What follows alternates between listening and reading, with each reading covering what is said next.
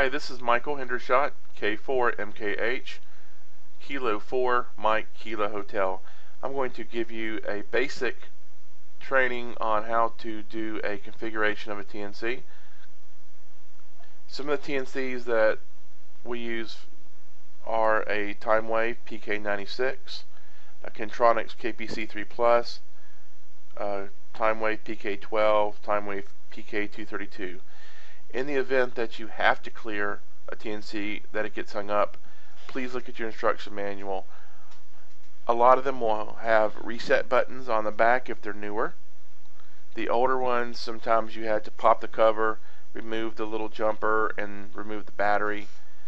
It could be a combination of both. So it's a very straightforward process. You just have to clear them in case it gets locked up. And it can happen when you're playing with different software. The first thing we need to do is download a piece of software that will allow us to communicate with it. I'm going to download a terminal emulation program. The program that I use like for this type of work is called PuTTY. PuTTY is very powerful, but we're only going to use it for the serial serial configuration purposes. On the PuTTY website, I go to the download key, and you'll see this called putty.exe. Go ahead and download that to your machine and run it. Once you launch the software for PuTTY the very first time, the first thing you need to know is what is the communications port on your computer that your TNC is connected to.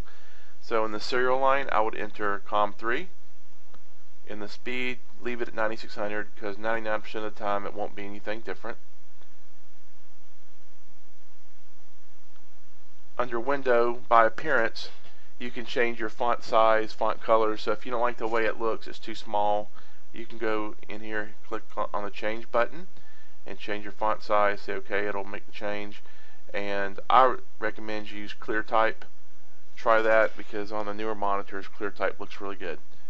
So I'm going to go back to the session settings, and I already have a pre-saved one for my computer, and I'm going to load it. And as you can see, nothing's happening.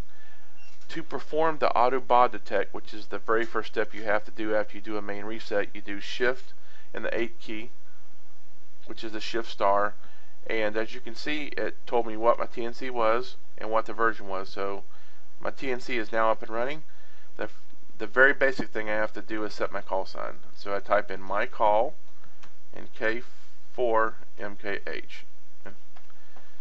It'll tell you that my old call sign was PK96 for the original settings and now it's K4MKH. To show you that my TNC is working now, I'm going to do C for connect and then a local packet node here in Jacksonville, Florida. As you can see, I connected to the JAX node in downtown Jacksonville, and you can see my TNC is working. I'm going to go ahead and disconnect.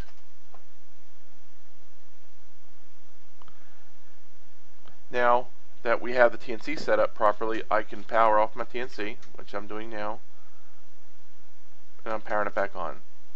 And you can see that it shows me the version again, and you can do any advanced configuration you wanted, but that's how you do a basic configuration of a TNC. Thank you very much.